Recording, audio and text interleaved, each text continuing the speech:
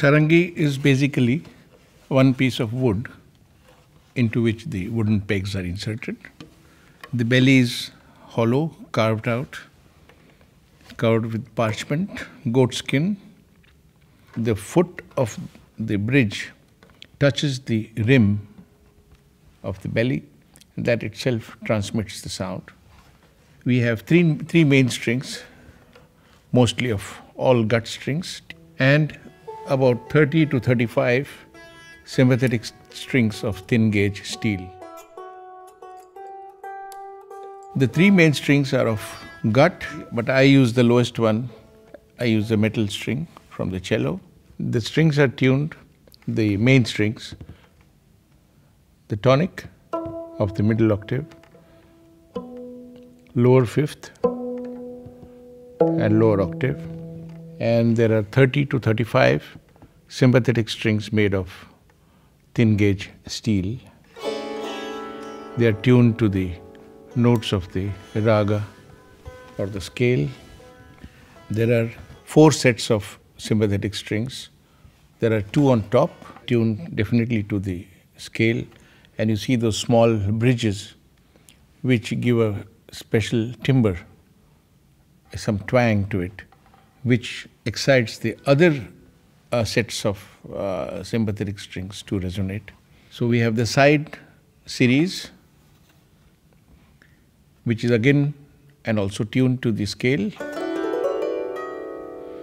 And there are underneath chromatic strings. It has a easily playable range of three octaves, and the fourth is used only for harmonics. We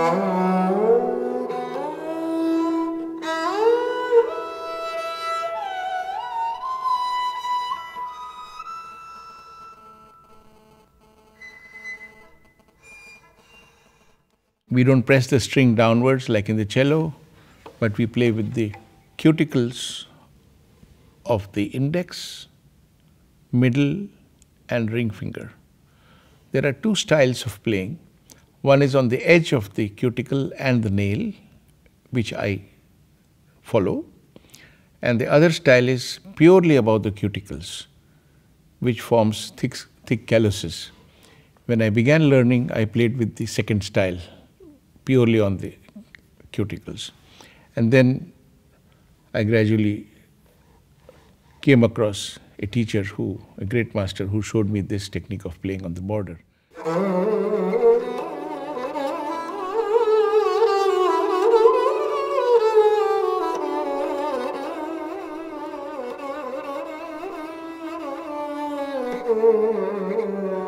Things like which I have borrowed from stringed instruments plucked instruments. This is never done on the sarangi traditionally. They would play. The traditional sarangi bow, horsehair.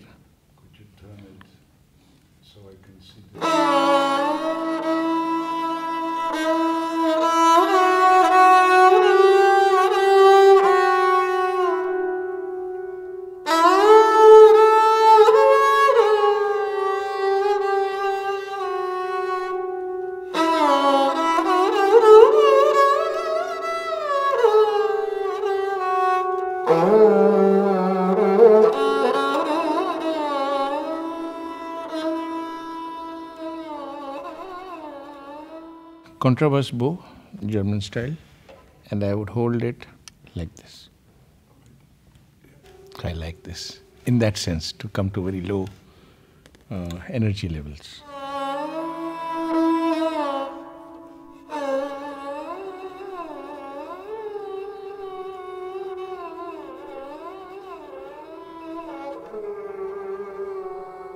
This is a very, actually, this is an adaptation of the Western bow, but used in India for a uh, stringed instrument, which is a hybrid between the sarangi and the sitar.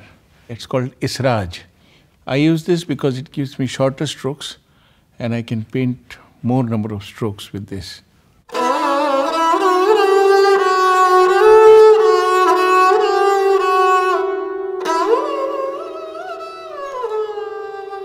Cannot generate much volume with this because of its weight is light. Now, some Indian bow maker has tried to make a hybrid between the traditional sarangi bow and the contrabass bow.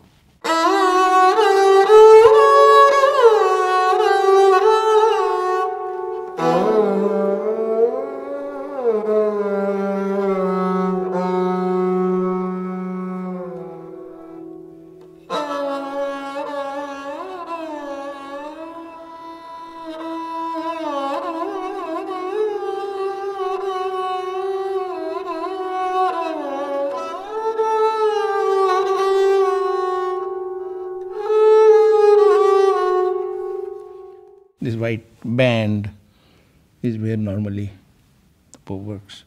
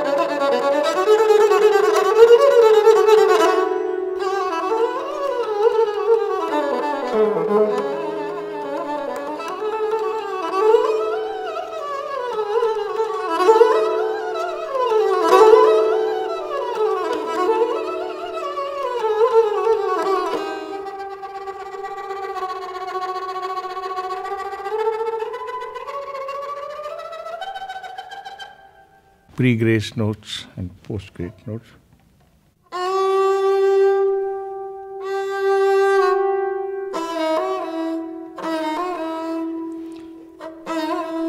That's how it executed in high speed.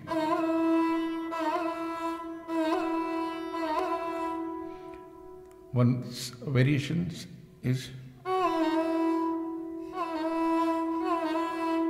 the reverse of that, that becomes the third one. Another variation. The most common is Murki or what you call mordent.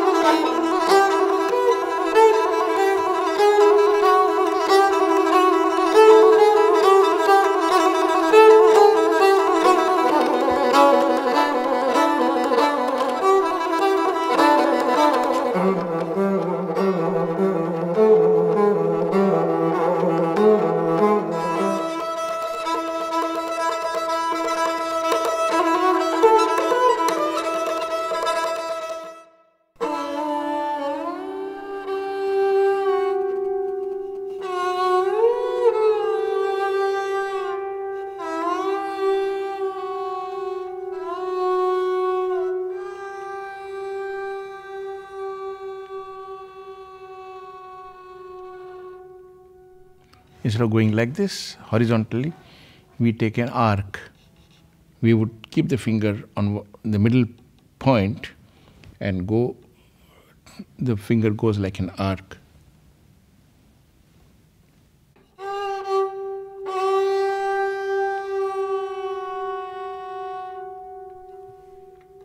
Now, if I do the arc system,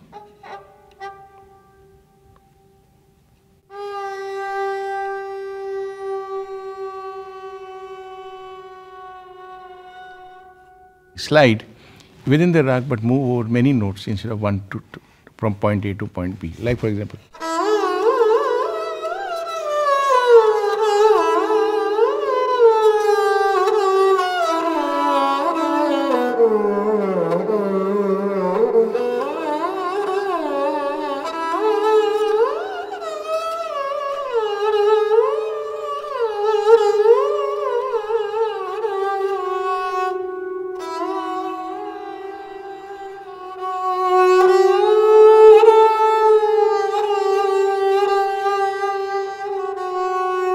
Much. We rather use uh, expanded vibrato, what we call andolan, like.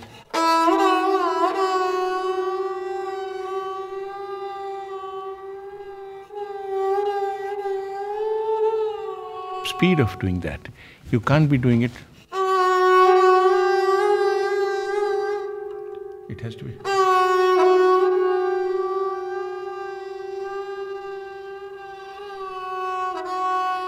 Oh.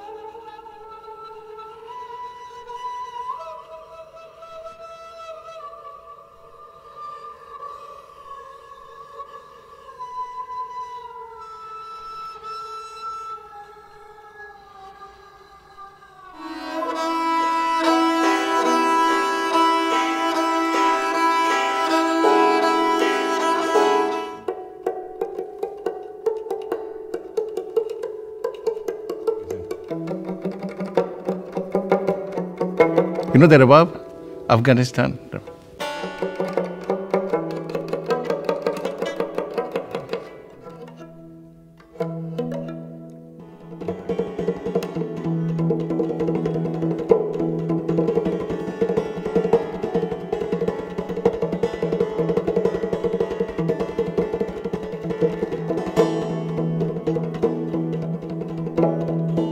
Improvise meaning unfold. If I play few routines,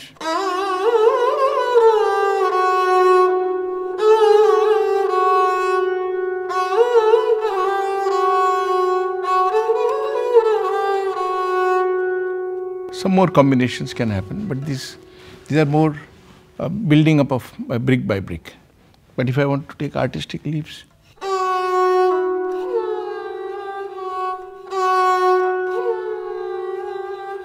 So I'm not playing. I want. I'm. What I would what I would think of is.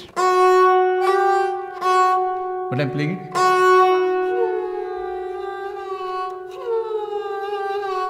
So this gives this small uh, touch phrase helps me to get more. Uh, opens up many more windows for unfolding. Like.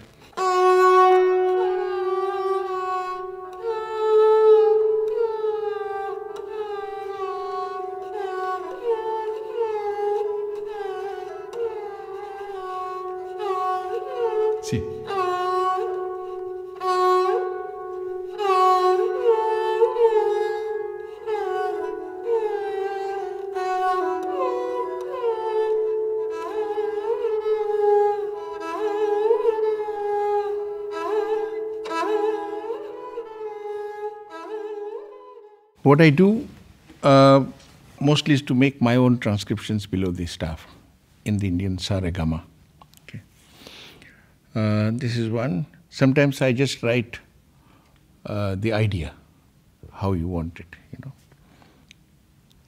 If it's a passage where you don't dictate uh, a set of notes, but you say you want this kind of nuance to emerge, then I would make some kind of symbolic things there.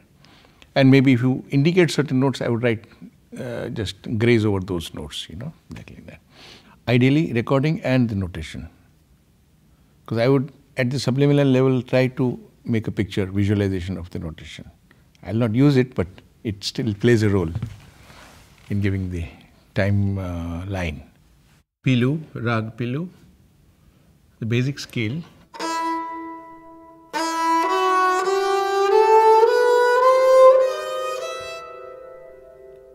Uses flat seventh and sixth natural.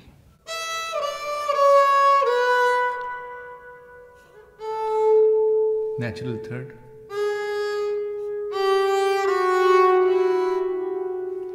The ascending and descending orders.